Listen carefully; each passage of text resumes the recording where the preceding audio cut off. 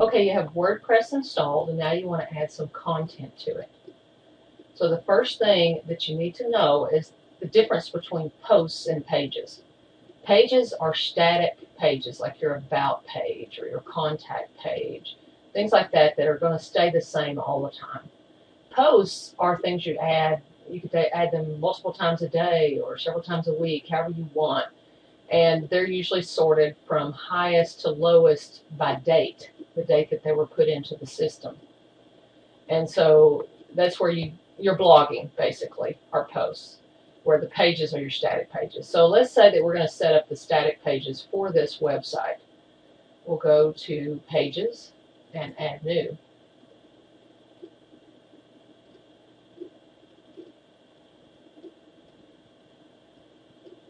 Okay, we're going to go over here to a Word document that has some content that the website owner would like into her website. So here's her home page she's got there. So we're going to copy that. And then we're going to go back over here to WordPress and we're going to paste this in. We're just going to call it home because it's the home page for now. And then we'll hit publish. Okay, now, but if you go and you look at Pinnacle Service Team, the home page of it, it still has this hello world, which is the default uh, post that has been put in by the WordPress installation. So we want to get rid of that. So we'll go back over to edit page and we're going to go down to posts and just click on posts. So take a look at all of them. Okay, there's hello world. We just want to trash that. We don't care about having that post. But that's still not going to help you. If you went and looked at the page, it would just be blank right now it'll say, sorry, nothing found. Okay. So we want to go back over and fix that. And the way you do that is under settings and reading.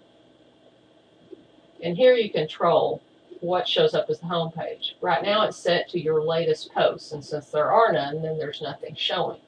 We want a static page, and then it lets us pick which one. So the front page, we want it to be the home page and then we're going to save the change.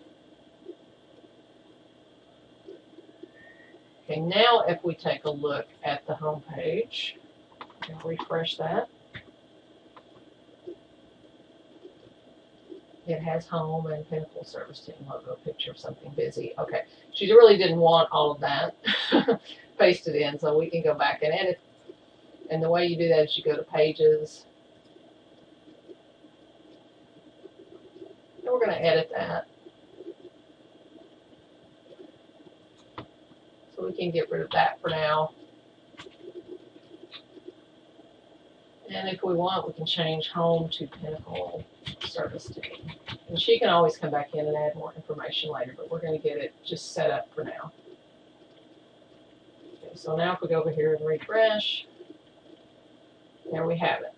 Now we've also got a sample page that WordPress has put in, so we want to get rid of that. So we're going to go back over to pages and just trash that page. Okay, let's take a look at her document. Now she's got a services page that she wants, so we're going to take all of that and copy it. Go back over, to add a new page. We'll call it services at the top and we're going to paste her text in. Sometimes Word is bad about carrying either too many spaces or not enough spaces, so you can have to play around with it sometimes a little bit. And then we're just going to publish that. Okay. Now if we want to view that page, there it is. Okay, now notice how it's titled this as Pinnacle Service Team question mark page ID equal 9. You don't want that. You want it to carry something descriptive in the title. You don't want to have these page IDs equal a number. Those are not good for search engines. So we're going to come back over here. We'll go to Settings. And you're going to go to Permalinks. And we're going to change it to one of these down here where it shows the sample post and the title and the date. So we'll just go with month, name, sample post and save that. Okay, now we're going to come back here. We're going to go to Pinnacle Service Team. Now if we click on Services, you'll see it says Services up there, which is a little more logical than that numbering system.